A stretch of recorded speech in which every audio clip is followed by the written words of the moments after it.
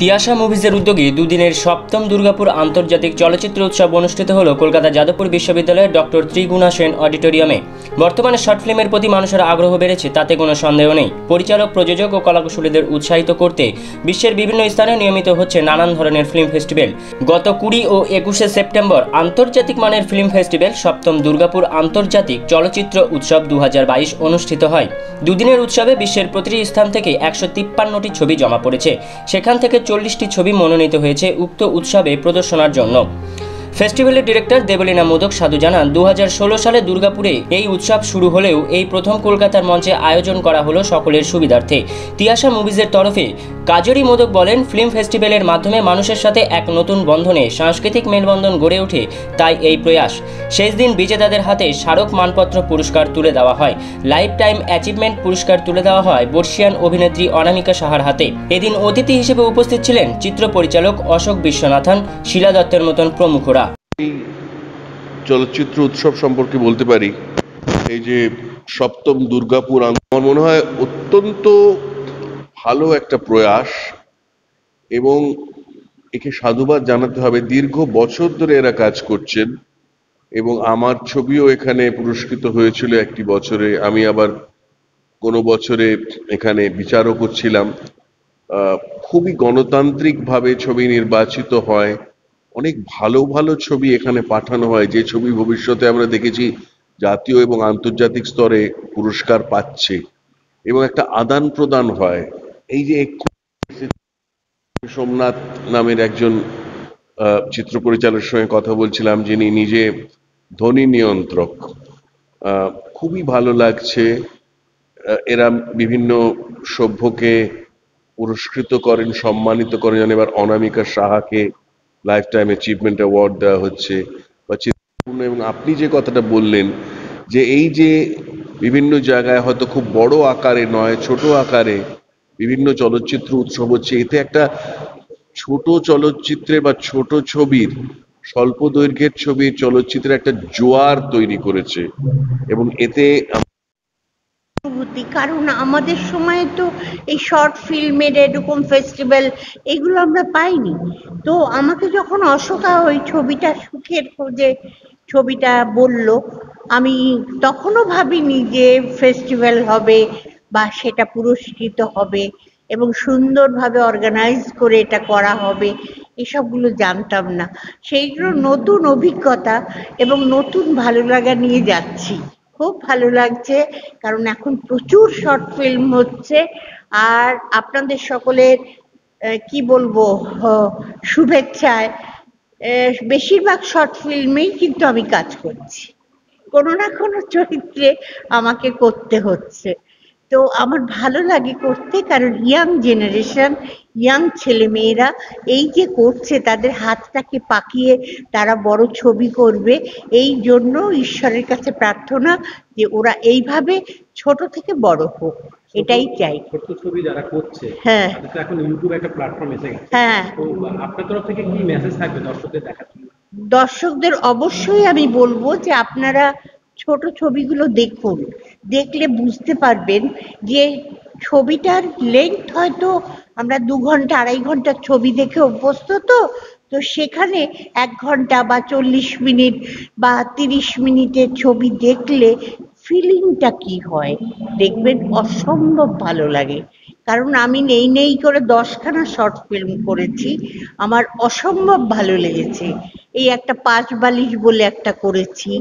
আমি তো মানে মোবাইল খুললেই ওদের, ইউটিউব খুললেই দেখি ওদের। শর্ট ফিল্ম, শর্ট হতে পারে, কিন্তু ফিল্মটা মনে যাতে দাগ কাটে এবং যদি ভালো লাগা আসে, তাহলে এই শর্ট থেকেই বড় ছবিতে এরা এগিয়ে যাবে। ধন্যবাদ, সবাই ভালো থাকুন এবং পুজো ভালো, আনন্দে কাটান। আর এই ফিল্মগুলো দেখুন। কলকাতায় হয়েছে অ্যাকচুয়ালি এটা actually Durgapur film festival but কলকাতায় এটা প্রথম বছর হলো। এই কারণেই, কারণ আমি আমি অ্যাকচুয়ালি আগে দুর্গাপুরে থাকতাম বাট অ্যাকচুয়ালি আমি বর্ন অ্যান্ড বার্থ কলকাতাতেই।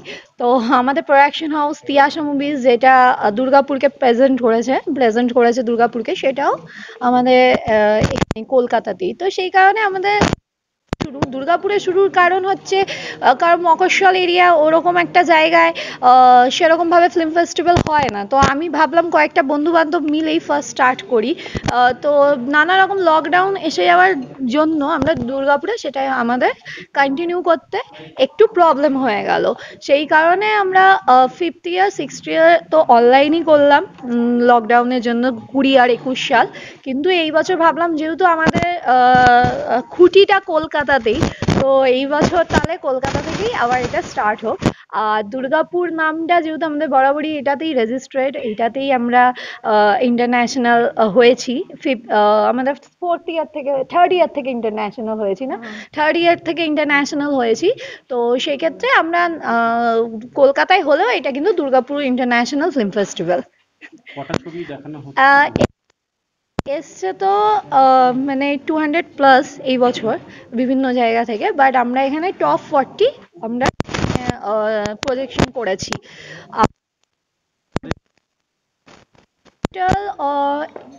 ষোলো সতেরোটা কান্ট্রি থেকে তো এসছে। হ্যাঁ তার মধ্যে তো সাত আটটা কান্ট্রি অ্যাওয়ার্ডই পেল ইন্ডিয়া বাদে। আর তাছাড়া বিভিন্ন ভাষারও এসছে, যেরকম আস- আসাম এসছে, মারাঠি এসছে, তেলেগু প্রচুর এসছে মানে সাউথ থেকে প্রচুর সিনেমা এসছে উড়ি- উড়িষ্যা থেকে এসছে, আর বিভিন্ন ল্যাঙ্গুয়েজেরও সিনেমা এসছে। তো সেটা খুব ভালো লাগছে মানে প্রথম বছরে আমি বললাম তো মোটে ষোলোটা সিনেমা নিয়ে স্টার্ট করেছিলাম ফেস্টিভ্যালটা বন্ধু বান্ধব মিলে। আজকে এটা এই জায়গায় দাঁড়িয়েছে মানে আমি খুব হ্যাপি সেটার জন্য। Thank you Durgapur international film ফেস্টিভ্যালে স্ক্রিনিং হয়েছে এবং আমি অ্যাওয়ার্ড জিতেছি। নেইবার কান্ট্রি বেস্ট ফিল্ম হিসেবে। আমি এখানে আসতে পেরে আমার ভালো লাগছে এবং আমি এই উৎসবের উত্তরোত্তর সাফল্য কামনা করছি। আর এই ফিল্মের মাধ্যমে আমাদের দেশের বন্ধুত্বের সম্পর্কটা আরও মজবুত হবে। এবং আমি একটা কথা প্রায় বিভিন্ন ফেস্টিভ্যালে বলি, দেশ কিছু অনেক জায়গায় ফেস্টিভ্যালে গিয়েছি, যে there should no boundary to cinemakers এবং সিনেমা দিয়েই আমরা পুরো পৃথিবীতে আমাদের যে বন্ধুত্বের ভ্রাতৃত্বের এবং শান্তির যে বার্তা রয়েছে সেটা পৌঁছে দিতে চাই। এখানে এই যে ফেস্টিভ্যালটা দেবলীনা তো সব বলেছে কীভাবে কীভাবে হয়েছে সেটা রিপিট করার দরকার নেই, তার আগে আমিও বলেছি। তা এই ফেস্টিভ্যালের মানে উদ্দেশ্য হচ্ছে যে সবাই এখন কি হচ্ছে, এখন হলে খুব কম লোকই যায় মানে খুব বিগ বাজেটের ছবি হলে তখনই লোকে হলে যায় হ্যাঁ? সেটা করা প্রডিউসারদের ডিরেক্টরদের করতে সিনেমা করে ছোট ছোট যদিও ফিচার ফিল্মও এখানে জমা পড়েছে সেটাও আমরা মানে কম বাজেটের ছবি হতো সেন্সার ছাড়া আমরা সেন্সার করতে গেলে অনেকগুলো টাকা লাগে। তাই সিনেমা একটা মিডিয়া হুম সিনেমা একটা এটা বিনোদনমূলক ছবি এবং এটা শিক্ষামূলকও তাই হ্যাঁ জুরি হিসেবে ছিলেন পরিচালক বিখ্যাত পরিচালক Ashok Viswanathan documentary documentary director Shila Datta আর বাংলাদেশের শহীদুল হক খান, তিনিও বিখ্যাত পরিচালক। তিনি পুরোনো দিনের পরিচালক, অনেকগুলো ন্যাশনাল শো মানে উনি। আর বিবেক ব্যানার্জি ক্যামেরাম্যান, যিনি নাকি তালিবান মানে বোম্বের অনেক ছবি। হ্যাঁ হ্যাঁ আজকে আজকে টোটাল মানে পুরস্কার পেয়েছে ছত্রিশটা। ফিচার ছবি ফিচার ছবির ক্যাটাগরি মানে ফিচার ছবি যেমন তিনটে best second runner up first runner up short ফিল্মে ওরকম তিনটে করে first second third ডকুমেন্টারিও first second third music video film আছে সেগুলো তো ফার্স্ট সেকেন্ড থার্ড এখানটা এগুলো আছে, তাছাড়া best director best actor best actress best child actress মানে অ্যাক্ট্রেস অ্যাক্টার মধ্যে ওটা হয়। তারপরে ফিমেল বেস্ট ফিমেল অ্যাক্টর এগুলো বিভিন্ন ক্যাটাগরিতে।